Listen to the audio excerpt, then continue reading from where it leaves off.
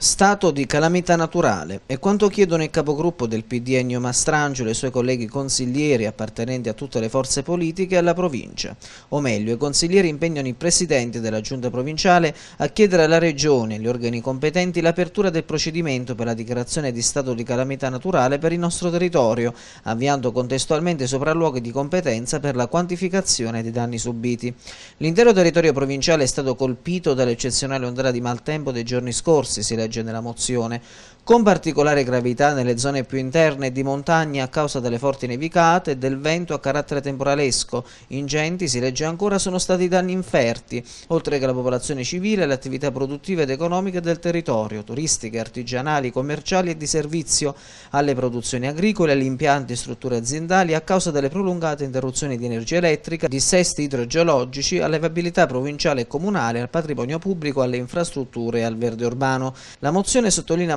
Mastrangeli vuole rappresentare uno stimolo e un sostegno a tutte le iniziative già intraprese o in via di definizione in considerazione dei pesanti danni inferti dal maltempo al territorio e alle comunità della Valle Peligna, Alto Sangro e Valle Subequana.